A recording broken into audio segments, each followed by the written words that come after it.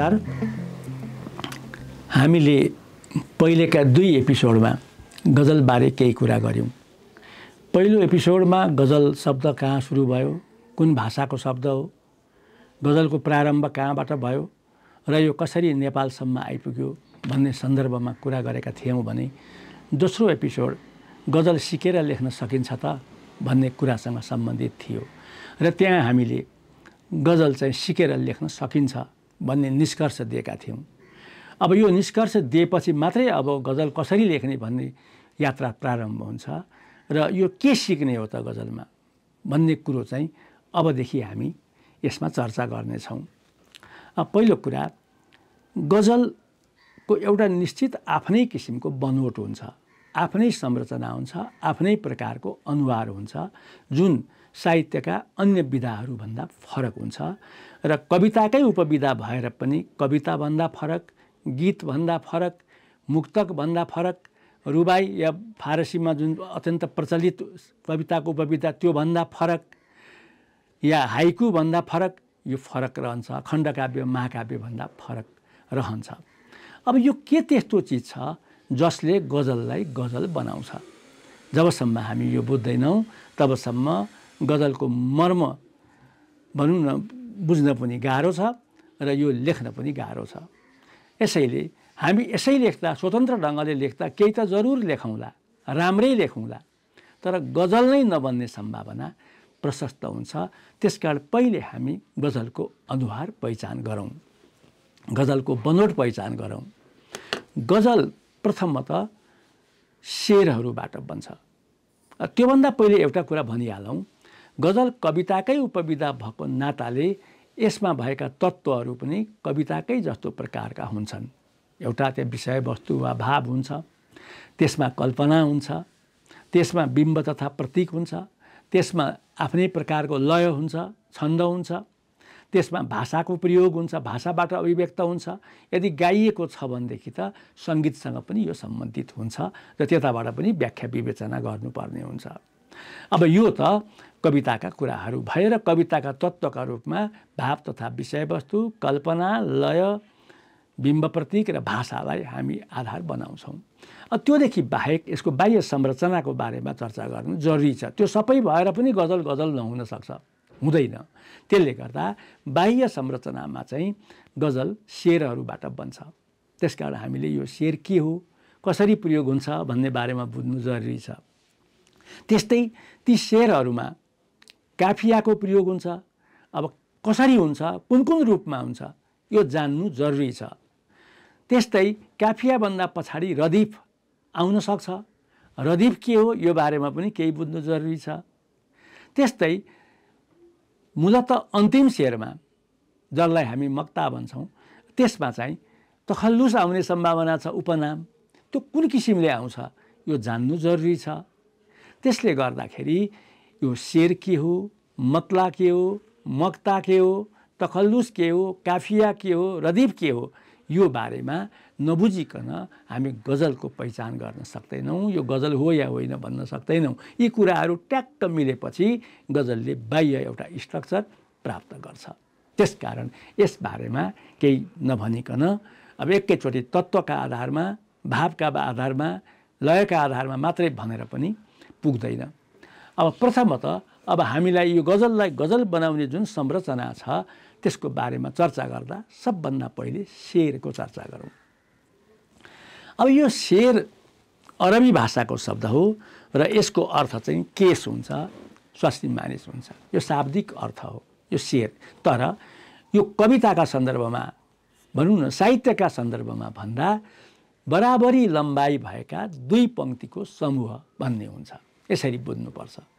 अब यो केस अर्थ दिन्छ या यो अर्थ दिन्छ यी शाब्दिक कुराहरू हुन्। हामीले यहाँ गजलका बारेमा बुझ्दाखेरि चाहिँ बराबरी लम्बाइ भएका दुईवटा पङ्क्ति।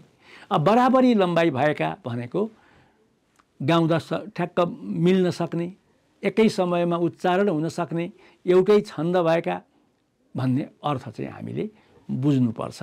त्यसकारण शेर बराबर लम्बाइ भएका दुई पङ्क्तिको समूह हो। अब त्यो दुईवटा पङ्क्ति अब मिश्रा भन्छन्। गजलका सन्दर्भमा शेरमा दुईवटा मिश्रा हुन्छन्। अर्थात् सजिलोको लागि हामी बुझौँ दुईवटा लाइन हुन्छ दुईवटा पङ्क्ति हुन्छ। संस्कृतका धेरै छन्दहरूमा चार पङ्क्तिको चार पाउको एउटा सिलोक हुन्छ। यहाँ चाहिँ दुइटै पाउको एउटा सिलोक हुन्छ। यसरी पनि बुझिदिउँ। हामीले अनुष्टुप छन्दलाई चाहिँ आठ अक्षरको एक पाउ चार पाउको एक श्लोक भने पनि दुईवटा पाउ एउटै पङ्क्तिमा लेखेर दुइटै उसमा लेख्छौँ नि हो। दुईवटा लाइनमा चाहिँ गजलको स्ट्रक्चर चाहिँ बन्छ र दुई पङ्क्ति अब यसै बुझ्दा श्लोक बुझे पनि भयो। या संस्कृतका अधिकांश श्लोकको पाउका सन्दर्भमा चार पाउ हुने सन्दर्भमा अर्धश्लोक बुझे पनि भयो। अङ्ग्रेजीमा चाहिँ यसलाई कपलेट भन्ने गरिन्छ।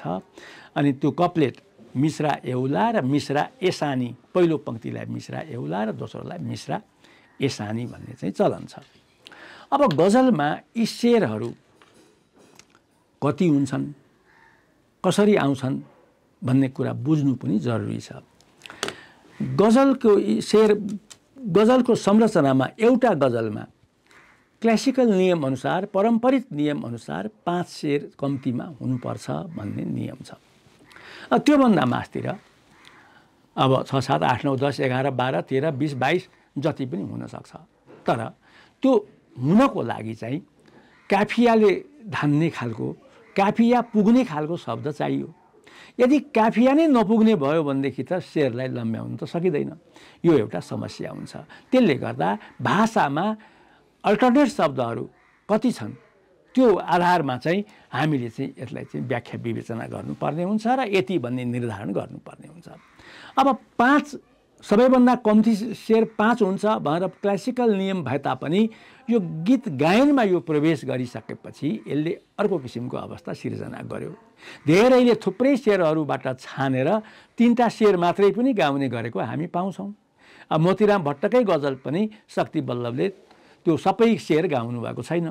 अब त्यो त्यसले गर्दा के स्थिति देखाइदियो भने अब तिनटै सेयर मात्रै पनि गजलमा हुने सम्भावना भयो।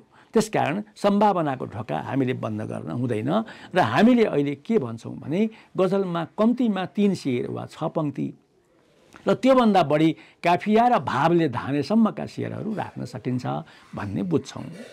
अब यसमा आख्यानको प्रयोग हुँदैन।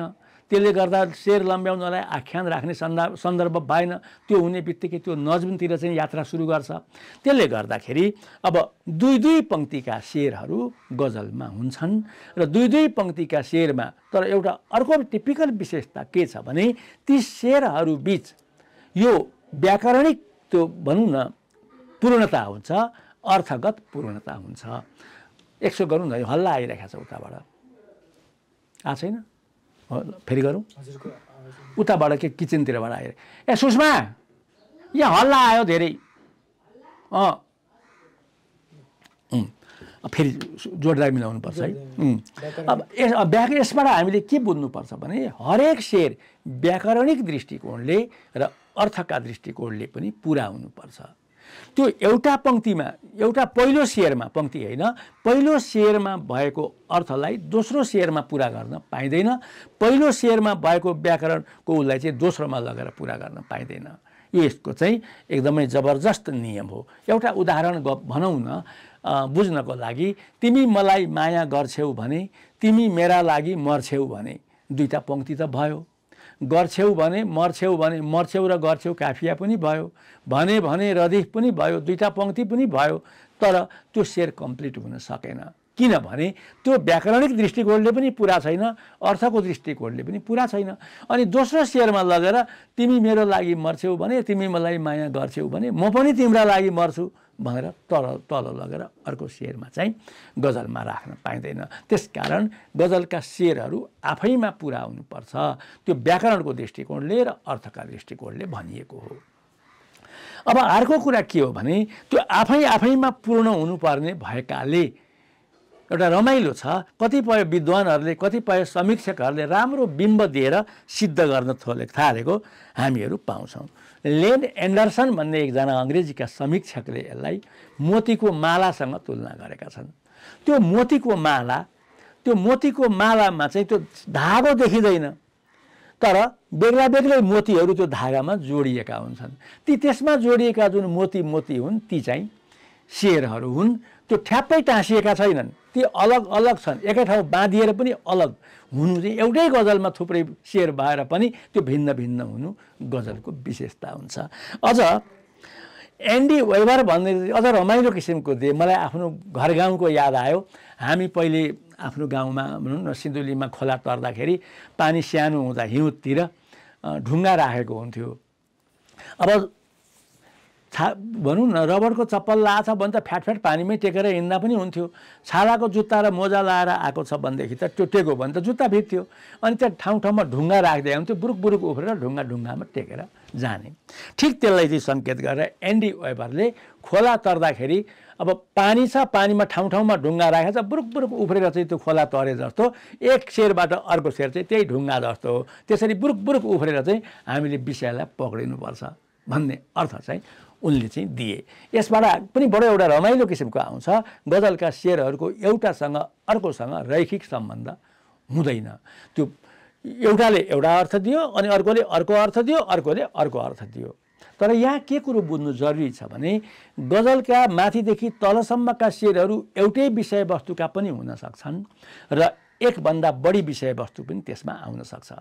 एकभन्दा बेग्ला बेग्लै विषय एउटामा प्रेम आयो एउटामा अर्थनीति आउला अर्कोमा चाहिँ अब कुनै जोग्राफीका कुरा आउला अर्कोमा नदीनाला के केही कुरा होला भनौँ न।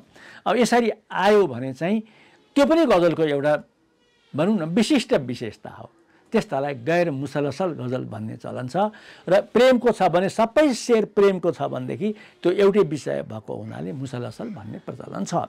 तर कुरो के भने एउटै विषय आउँदाखेरि पनि माथिको शेरले तलकोलाई अर्थ पुरा गर्न चाहिँ आउन हुँदैन ती शेरहरू चाहिँ आफैमा पुरा हुनु जरुरी छ भन्ने मान्यता चाहिँ गजलमा पाइन्छ। अब गजलमा बिजोर शेर हुनुपर्छ भन्ने मान्यता पनि छ। गजलमा बिजोर शेर हुनुपर्छ जोर राख्न हुँदैन भन्ने पनि पहिले मान्यता थियो। त्यो क्लासिकल मान्यता अघि मैले पाँचवटा शेर हुनुपर्छ भने जस्तै अब यो किसिमको एउटा पनि हामी पाउँछौँ। अब यसको खोजी गर्नु त जरुरी भयो। के पाँचवटै बिजोर बिजोरै पाँच सात नौ एघार तेह्र पन्ध्र सत्र अनि जोर राख्नु नपाइने भन्ने नियम पनि हामीहरू कतै कतै पाउँछौँ। यो किन भनिएको रहेछ भन्दाखेरि यो इस्लाम धर्मसँग चाहिँ सम्बन्धित रहेछ। इस्लामिक धर्ममा बिजोरलाई एकदमै धेरै महत्त्व दिइँदो रहेछ र भनिँदो रहेछ अल्लाहको नामै उनान्सय थिए। अल्लाह एक थियो। उनान्सय नाम पनि बिजोर छ अल्लाह एक हो त्यो पनि बिजोर छ। अनि मोहम्मद बिजोर दिन खाना खान्थे यस्तो कुरो चाहिँ भनिएको पाइन्छ। प्रार्थनामा कतिपय प्रार्थनामा लाइन लाग्दा बिजोर मान्छे उभिनुपर्छ भन्ने मान्यता पाइन्छ। त बिजोरलाई बढ्ता महत्त्व इस्लाम धर्मले दिएको र बिजोर उनीहरूलाई बिजोरलाई महत्त्व दिएको र गजल पनि त्यतैबाट आएको सन्दर्भमा त्यसलाई त्यही बिजोरको महत्त्वका कारण त्यो राखिएको हुनसक्छ। तर कुरो के भने त्यो अहिलेसम्म विकसित भएर आउँदा त्यो रूढ रूपमा चाहिँ रहिरहेको छैन। अब गैर इस्लामिक कविको त कुरै छोडिदिउँ गजलकारको त कुरै छोडिदिउँ। उनीहरूले नै लेखेको गजल चाहे गालिब हेरौँ मिर हेरौँ आदिका गजल हेर्दा पनि जोर सेरहरू प्रशस्त प्रयोग गरेको देखिन्छ। यसकारण त्यो नियम चाहिँ अहिले पारम्परिक रूपमा रहे तापनि अहिले त्यसलाई यो यही नै हो र यही नै हुनुपर्छ भन्ने मान्यता चाहिँ देखाएको देखिँदैन। अब अर्को के हुन्छ भने गजलको चाहिँ त्यो शेरहरूको एउटा गजललाई भाग लाउँदा अब अघिल्लो भाग या बिचको भाग मध्य भाग र अन्तिम भाग यसरी भाग लाइएको पाइन्छ। अघिल्लो भागमा मतला पर्छ। त्यो गजलको जुन दुई पङ्क्ति छन् त्यसलाई मतला भन्ने गरिन्छ। तर दुई पङ्क्ति मात्रै या दुईवटा मिश्रा मात्रै मतलामा हुन्छ यो जरुरी छैन। कहिलेकाहीँ दुईवटा तिनवटा सेयर पनि मतला भएर आइदिन्छन्। तर मतला हुनको लागि चाहिँ त्यो सबै पङ्क्तिमा काफिया हुनु जरुरी छ या अन्त्यानुप्रास हुनु जरुरी छ। अब दुई पङ्क्तिमा अन्त्यानुप्रास फेरि मुक्त पङ्क्ति त्यहाँबाट फेरि अनुप्रास यो राख्यो भने चाहिँ मतलब दुईवटा तिनवटा भएको मानिँदैन। त्यसले गर्दा सामान्यतया गजलमा एउटा मतला हुन्छ र त्यो दुइटै मतलामा काफिया अनिवार्य हुन्छ रदिफ छ भने रदिफ पनि अनिवार्य हुन्छ। एउटै छन्दका हुन्छन् त्यहाँ काफिया हुन्छ र त्यहाँ रदिफ छ भने रदिफ पनि हुन्छ। र त्यो यो अति आवश्यक कुरा रदिफ चाहिँ भएन। त्यसले गर्दा त्यो चाहिँ मतला भाग हुन्छ। त्यो इन्ट्री हुन्छ। इन्ट्री पोइन्ट हुन्छ मेन गेट हुन्छ। जसरी हामी कसैको घरमा जाँदाखेरि मुख्य गेटबाट प्रवेश गर्छौँ हामी त्यो मतला भागबाट प्रवेश गर्छौँ र त्यो मतलामै हामीले के थाहा पाउँछौँ भने अब यसका अरू शेरहरू पनि यही छन्दका आउँछन्। हामीले यो थाहा पाउँछौँ। र यसमा काफियाहरू पनि यहीँ यसैले निर्धारण गरेको आउँछ। जस्तै गर्छ मर्छ त्यहाँ छ भने झर्छ सर्छ हर्छ यो आउने क्रम चाहिँ रहन्छ। रदिफ छ भने रदिफ पनि सेम रिपिट हुन्छ। यो कुरो चाहिँ हामीलाई मतलाले नै सङ्केत गर्छ। मतला हेर्न साथ। एउटा श्रोता थाहा पाइहाल्छ अब आउने शेरहरूको दोस्रो दोस्रो दोस्रो पङ्क्तिमा पनि त्यही काफिया रिपिट हुन्छ।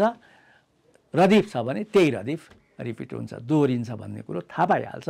त्यस कारण यो एकदमै परिचयात्मक शेर हो।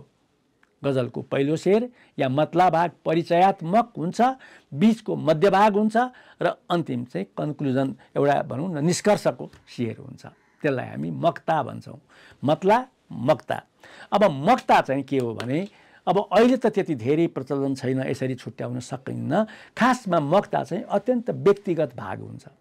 त्यो व्यक्तिगत भाग भनेको कस्तो भने त्यो सायरले त्यो कविले त्यो गजलकारले त्यहाँ चाहिँ आफ्ना निजी विचारहरू प्रस्तुत गर्छ। माथि जुनसुकै विचार भन्दै गए तापनि तल आफ्नो गुनासो भनौँ न माथि गजलमा आफ्ना कुराहरू उसले भन्दै गयो तल आएर के गर्नु? म त गरिब छु। यस्तो गर्न सक्दिनँ। कसैले सहयोग गर्छ कि? भने जस्तो नि। मतलब आफ्ना निजी कुरा राख्ने हुनाले यो अत्यन्त इमोसनल अत्यन्त रागात्मक हुन्छ र उसले आफ्नो उपनाम तखल्लुस पनि त्यहाँ प्रयोग गर्ने गर्छ। त्यो मक्ता भागमा हुन्छ। अहिले त कतिले अन्य भागमा पनि मक त्यो उपनाम प्रयोग गरेको देखिन्छ। त उपनाम प्रयोग गर्ने बित्तिकै सबै शेर मक्ता चाहिँ हुँदैनन्। यसमा हामीले भ्रम पर्न हुँदैन।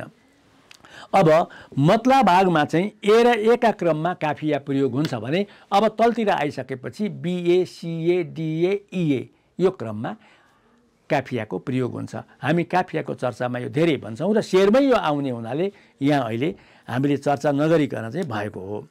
अब यसपछि अब यी शेरहरू चाहिँ आफैमा पुरा हुनुपर्ने कम्प्लिट हुनुपर्ने र एउटा शेरले एउटा मुक्तकीय अभिव्यक्ति दिनुपर्ने सन्दर्भ हामीले बिर्सिनु हुँदैन।